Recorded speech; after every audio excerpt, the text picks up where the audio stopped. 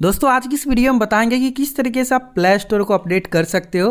Play store के application तो update हम करते होंगे बट प्ले स्टोर को भी अपडेट करना बहुत ज़रूरी होता है। तो चलिए, बिना टाइम को वेस्ट किए वीडियो को स्टार्ट कर लेते हैं। और साथ में मैं आपको एप्लीकेशन भी अपडेट करने के लिए बताऊँगा प्ले स्टोर को अपडेट करने के साथ साथ क्योंकि जो मेरे न्यू व्यूवर्स हैं, उसको मालूम नहीं होगा कि हम एप्लीकेशन को भी अपडेट कैसे कर सकते हैं, जो कि आपका यूट्यूब हो गया व्हाट्सअप फेसबुक ये सबको भी मैं बताऊँगा।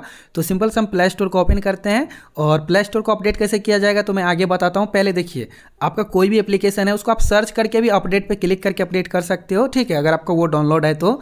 नहीं तो गैस यहाँ पे अपने प्रोफ़ाइल पिक्चर पे क्लिक कीजिए, जो कि आपको यहाँ पे साइड में दिखता है कोना में। इस पर क्लिक करने के बाद मैनेज ऐप डिवाइस पे क्लिक करके आपको यहाँ पे अपडेट वाले ऑप्शन पे क्लिक करके अपडेट कर सकते हैं। जो भी आपके व्हाट्सअप फेसबुक इंस्टाग्राम ट्विटर जो भी हैं, सारे दिखेंगे। अपडेट पे क्लिक करके अपडेट लगा सकते हैं। ये तो हो गया एप्लीकेशन अपडेट करने का बारी। अब चलिए हम बताते हैं कि अपना प्ले स्टोर को अपडेट कैसे कर सकते हैं। प्ले स्टोर को अपडेट करने के लिए वहीं पे प्रोफ़ाइल पे क्लिक करने के गाइस बट इसका तरीका अलग है। प्रोफ़ाइल पे क्लिक कीजिए बट आपको यहाँ पे सेटिंग पे क्लिक करना है। सेटिंग का ऑप्शन दिखता है नीचे में। सेटिंग पे आइए। आपको अबाउट का ऑप्शन दिखेगा नीचे में, फिर से नीचे वाले ऑप्शन पे क्लिक कीजिए अबाउट पे। और गैस जैसे आप अबाउट पे आ जाओगे, आपको जस्ट अ सेकेंड अपडेट का ऑप्शन दिख जाएगा। देख रहे हो?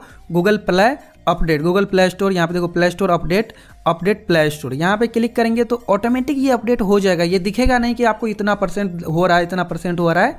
ये दिखते नहीं है ऑटोमेटिक आपका गेट इट से क्लिक कर दोगे तो हो जाएँगे। और आपको सिर्फ़ डाटा ऑन रखना है 10-15 मिनट में ऑटोमेटिक से अपडेट हो जाते हैं। तो इस बात का ध्यान रखिएगा। एंड इस तरीके से आप यहाँ पे प्ले स्टोर को अपडेट कर सकते हो। आपको ये वीडियो कैसा लगा हमें कमेंट में ज़रूर बताइए। अगर आपका फिर भी कोई सवाल हो, कोई क्वेश्चन हो तो कमेंट में पूछ सकते हैं। Thank you